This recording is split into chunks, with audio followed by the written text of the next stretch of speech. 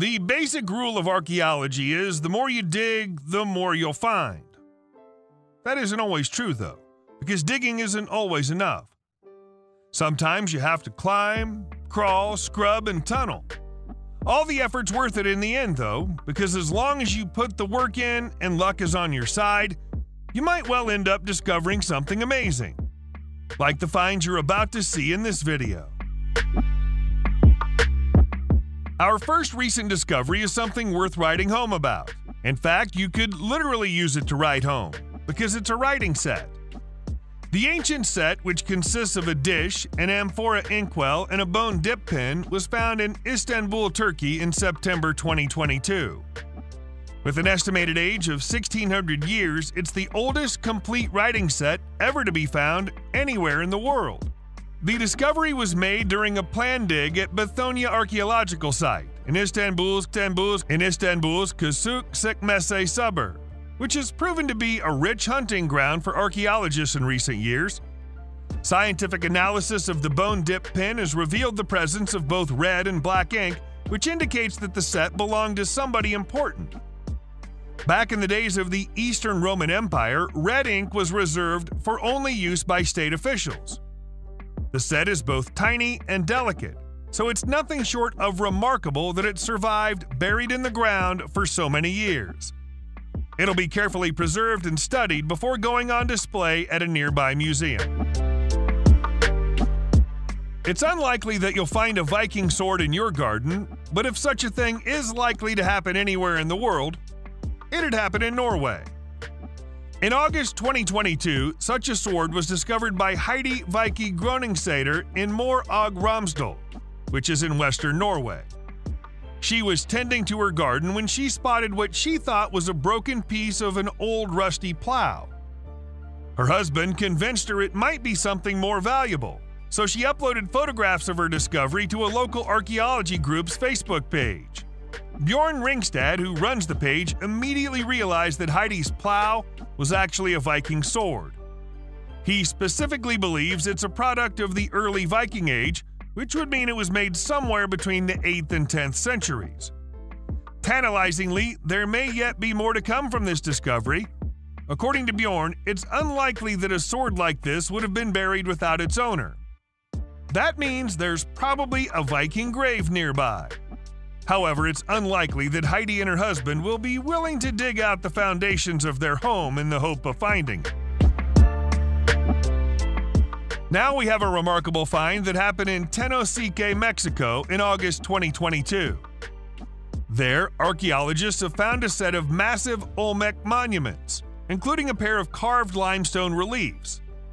The reliefs depict Olmec rulers in a ritual contortionist pose, which is said to have reduced oxygen levels in the brain and thereby induce a trance like state.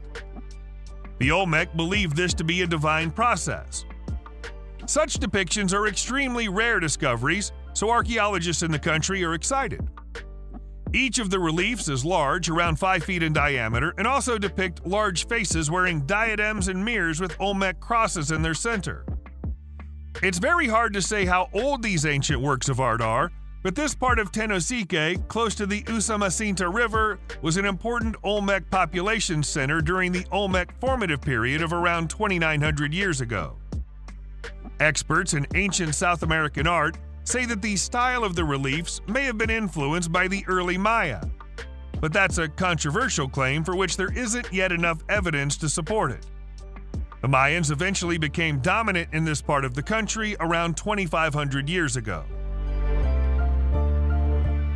Archaeologists have been digging at the site of Ayanis Castle in Turkey for more than 30 years.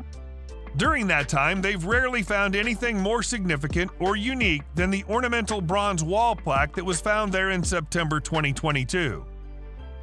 The castle is a hotspot for treasure hunters because it was built for the Urartian king Rusa II, who ruled his territories from there between the years 680 and 693 BCE. The bronze plaque is likely to have been chosen personally by the king or a member of the royal family and would have hung on the wall as a decoration. Fragments of similar plates have been found elsewhere in and around the ruins of the castle, but this is the only one that's ever come out of the ground in one piece. The discovery of the bronze plate came as archaeologists identified and unearthed four new interconnected rooms buried into the hillside that the castle was once perched atop. And there's still plenty of work to be done inside those rooms. Experts say there's so much digging to be done at Ayanis Castle that there will still be archaeologists there in another 30 years. Hundreds of people walk through the forests of Chapultepec in Mexico every day. Until September 2022, none of those people realized they were trampling all over history. A recent archaeological survey has revealed the presence of the oldest artifacts ever discovered in the Mexican basin buried just a few inches beneath the forest floor. This gold mine of an archaeological layer includes utensils, tools, and curious depictions of otherworldly figures. Experts believe they've been buried in the forest for around 3,000 years. Unfortunately, the fact that so many millions of people have walked through the forest in the years since is probably the reason that the artifacts are smashed into so many pieces. However, there are exceptions to that, some of the clay vessels appear to have been burned deliberately and then broken, perhaps as part of an ancient ritual. There's so much material here that archaeologists and historians have begun to wonder whether there was a formal settlement in the forest 3,000 years ago. But thus far, they haven't been able to identify the remains of any buildings.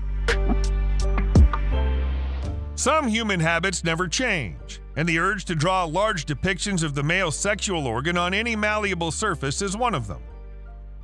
In September 2022, archaeologists conducting a survey in the Cordoba municipality of Nueva Carteya, Spain, confirmed the discovery of an enormous phallus carving dating back to the country's Roman period.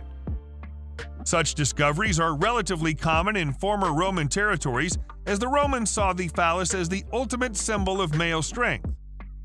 Many Roman soldiers wore small phallus necklaces when they went into battle in the hope that it would keep them safe. Phalli appear in many ancient Roman mosaics, sculptures, frescoes, and pendants.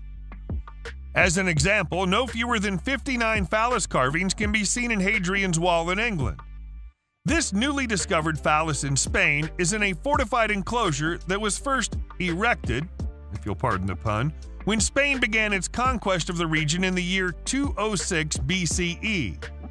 It's one of the largest carvings of its kind ever found in Spain. You know what they say about phallus carvings? The bigger the carving, the more luck they'll bring. At the risk of stating the obvious, there would be no Silk Road without silk. It was the Yangshao culture of ancient China that first learned how to rear silkworms to produce raw silk more than 5,000 years ago. The ability to make and sell silk transformed their culture, and eventually the entire region. So silkworms must have been incredibly important to them. That probably explains why someone decided to make this beautiful stone silkworm chrysalis around 5,200 years ago. The one of a kind artifact was found in the Shaanxi province of northern China in June 2022. The location where the carving was found has been described by experts as a semi crypt house. Dating stone artifacts is almost impossible, but the age of 5,200 years has been determined based on fragments of pottery that surrounded the object when it was found. It's one of over 1,600 artifacts that were found as part of the same dig, including copperware, stone tools, jadeware, shellfish, and stove sites. It wouldn't be an exaggeration to describe what happened in this part of the world 5,000 years ago as a silk revolution, and this chrysalis is a testament to it. Our next artifact isn't so much a new discovery as it's one that's recently been returned home. It's this stunning relic, known as Precious Blood of Christ, which was stolen from Fécamp Abbey Church in Normandy, France in June 2022. It's one of the Catholic Church's most sacred relics, and is said by the faithful to contain the blood of Jesus Christ, collected when he was crucified 2,000 years ago. Police in France were never able to determine who stole the sacred object, but it was spontaneously returned two months after it was stolen. The thief or thieves left the precious blood of Christ on the doorstep of the Dutch art detective Arthur Brand, Less than 10% of stolen art is ever recovered, so this artifact has defied the odds. We'll never know why the thieves gave it back, but it's possible that they didn't know how famous the object was until they stole it. After which, they'd quickly have realized they'd never be able to sell it without being caught. On the other hand, perhaps the idea of stealing the blood of Christ was a little too much for them to deal with in the cold light of day. We've already had one Viking discovery in this video, but there's no harm in having another. It's a solid gold ring that had somehow been mistaken for a piece of cheap costume jewelry until it was rediscovered in July 2022. The ring was bought as part of a box of jewelry in an online auction by Mary Ingelin Hakkested of Norway, who knows a thing or two about history and quickly realized that one of the rings in the box was unlike all the others. It's heavy, polished, and obviously made from real gold. Jewelry was worn as a symbol of status in Viking society. Based on the size and weight of this ring, it's likely to have been worn by an important man, perhaps even a Viking chief. Silver jewelry was more common than gold jewelry, even among affluent Vikings, because gold was relatively scarce. So very few people wore it, and those who did only tended to do so on special occasions. Unfortunately, the fact that the ring found its way into a box of cheap jewelry means we'll never be able to find out where it came from. Without that information, it's hard to say how old it is. We're headed back to Turkey now, where a late Neolithic era seal was discovered during excavations at Domuztepe Mound in Kahara Kahramanmaras province, Turkey in the summer of 2022. The mound is at the heart of an ancient settlement that was first founded around 9,000 years ago.